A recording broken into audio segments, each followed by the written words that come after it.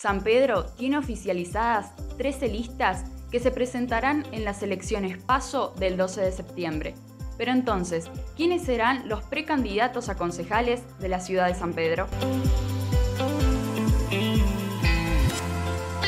Por el frente de todos, el precandidato principal es Daniel Creus, juntos tiene internas y hay cuatro listas. Paola Basso como representante de la Unión Cívica Radical y los tres representantes del Pro San Pedro, Guillermo Sancho, Ana Tiramonti y Damián Lafalce. El que más votos saque en las PASO será el candidato de Juntos en las elecciones definitivas de noviembre. Por Vamos con Vos, el partido que lidera Randazo, la precandidata es Verónica González. Por su parte, el Frente de Izquierda tiene como precandidato a Claudio Cejas. Miguel Iglesias es precandidato por el partido Unión Celeste y Blanco, mientras que por Avanza Libertad el principal precandidato es Martín Rivas.